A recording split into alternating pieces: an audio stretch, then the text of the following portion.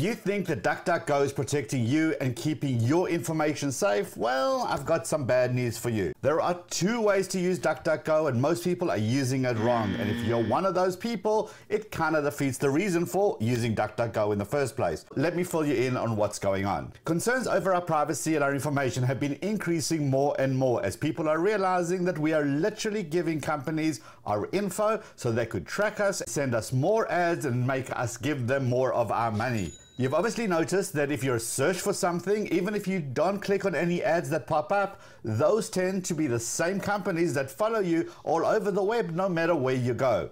You've obviously seen that if you land up on some website, you will see their ads all over the web. So, as a gentle reminder, it's for you to come back and buy from them. So, we're being tracked and tagged, and this is where DuckDuckGo comes in. DuckDuckGo is a search engine. Currently, it is not a browser on the desktop, but there are rumblings that they are building one. It does have a mobile app, so yes, on the mobile, there is a browser version of this. DuckDuckGo is all about privacy. It doesn't collect data about you, it doesn't track links, it doesn't filter search results.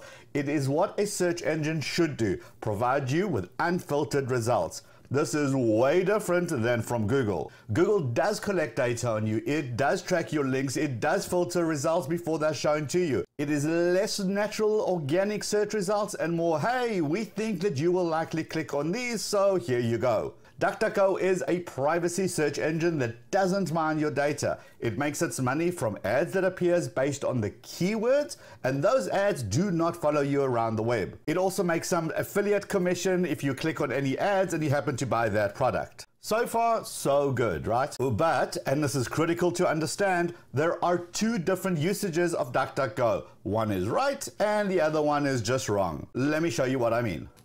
Right, let's start off by going to duckduckgo.com and this is the website and here I put in my normal search query as I would if I was doing it on Google.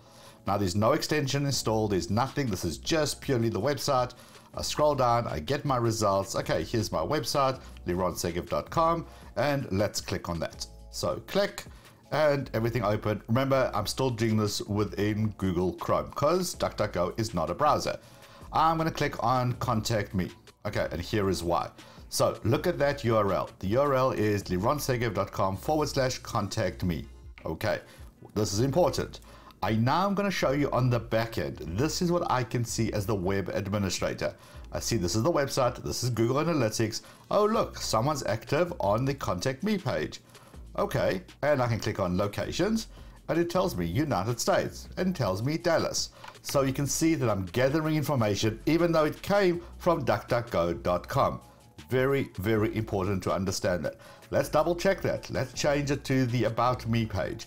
Okay, so it's lironsegev.com forward slash about. Go to the website, let's clear the old search results, and there it is.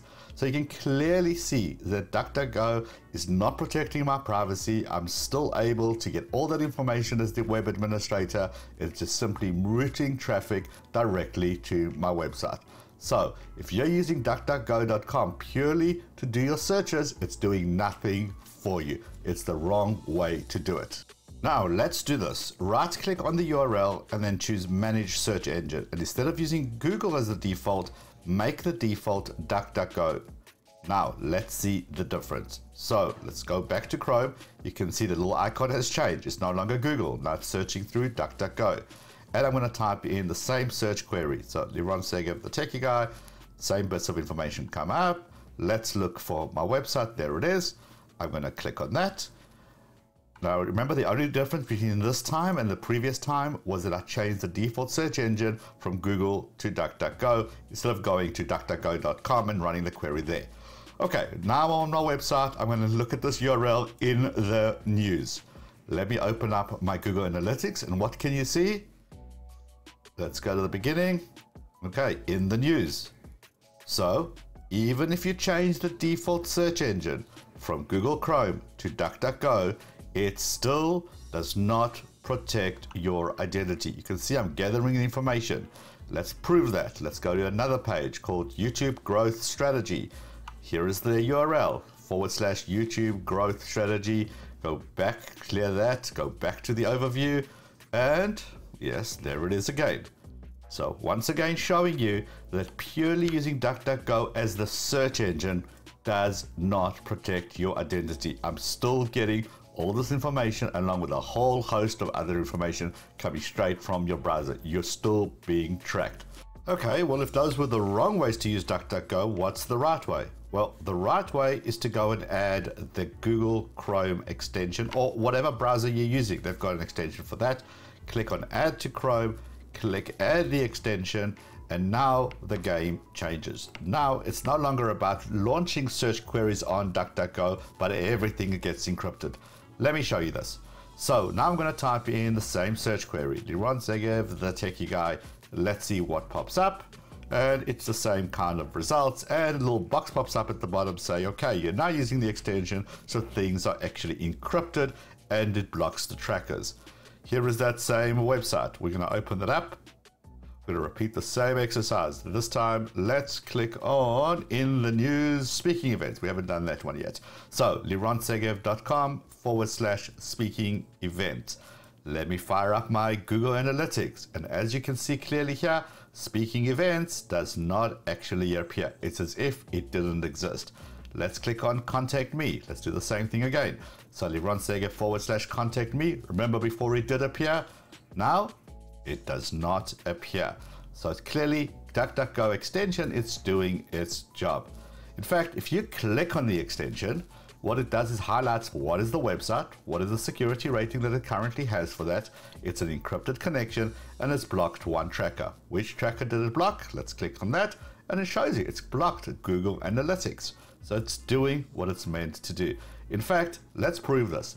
Let's disable the DuckDuckGo extension on this particular website and let's reload the site now and I'm wondering whether DuckDuckGo, is, since it's no longer here, whether it will now pop up in Google Analytics. Technically, it should. And yes, it does. So proving beyond all shadow of a doubt that when you don't have the DuckDuckGo Chrome extension and you just use it as a search engine, it doesn't protect your identity.